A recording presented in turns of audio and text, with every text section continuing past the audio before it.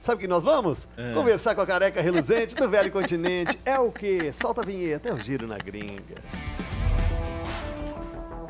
Giro na Gringa.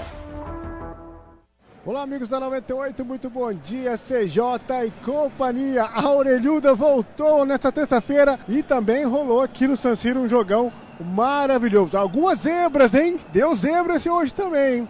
O Borussia Dortmund venceu o Newcastle por 2 a 0.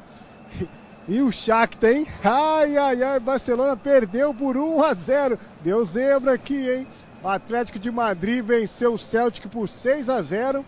A Lazio venceu o Feyenoord por 1 a 0. Aqui em Milão, o Milan venceu o PSG por 2 a 1 e continua sonhando com a classificação, hein?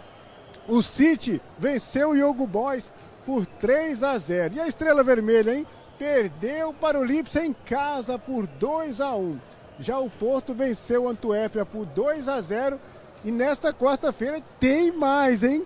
Hoje tem mais jogos, porque o Napoli vai enfrentar o União Berlim, né? O Real Sociedade vai enfrentar o Benfica e o Bayern vai enfrentar o Galatasaray. Já o Copenhague enfrenta o Manchester United e o PSV enfrenta o Lens. O Arsenal enfrenta o Sevilha e o Real Madrid do nosso Vinícius Júnior, Rodrigo e companhia enfrenta o Braga. E para fechar teremos o Salisburgo que enfrenta a Inter de Milão. E aqui, por falar de Inter de Milão, de Milão é tudo, Anderson Marques. Lá, lá, lá, lá, lá, lá, lá, lá, homem, olha lá, o Um homem. abraço pessoal. Abraço aí, pessoal do Brasil. Tamo junto. Pessoal dos Brasil. Olha lá a foto do Ah, homem lá, velho. Isso, hein? O homem tá voando, Narra só. pra quem tá no rádio. Ah, pra quem tá no rádio, ele está, ele está com Tartaruga Ninja ao lado, ele está com Mbappé. Rafael Donatello. É, rapaz. Ó, vou falar uma coisa pra você, Andercinho. Você está voando.